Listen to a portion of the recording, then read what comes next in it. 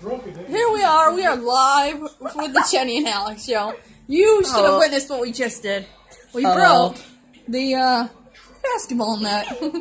it was epic. Cause Johnson, Yeah. Johnson, you want to explain? So I was wanting the ball and I broke the hoop. No, but explain what you said beforehand. I'm gonna do something crazy. and he did, folks. And then You she threw broke it. it more. I just, I, yeah, I just flung it. I hit it.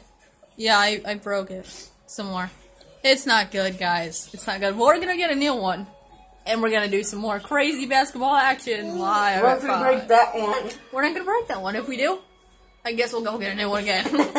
we'll just keep buying them. Those uh, basketball people will really love us. we'll be putting money into them. I got some cash. It'll be okay because we'll we'll buy one. Break it. Oh, I slammed it down the second time. Yeah, it was. I didn't mean to. Um, I didn't mean to. mom, grandpa. I didn't mean to. It's all okay. Anyway, we'll be back, guys. Oh, it's an episode of the Jenny and Alex Show. And if you're not down with that, we got three words for you. Eat it, yeah.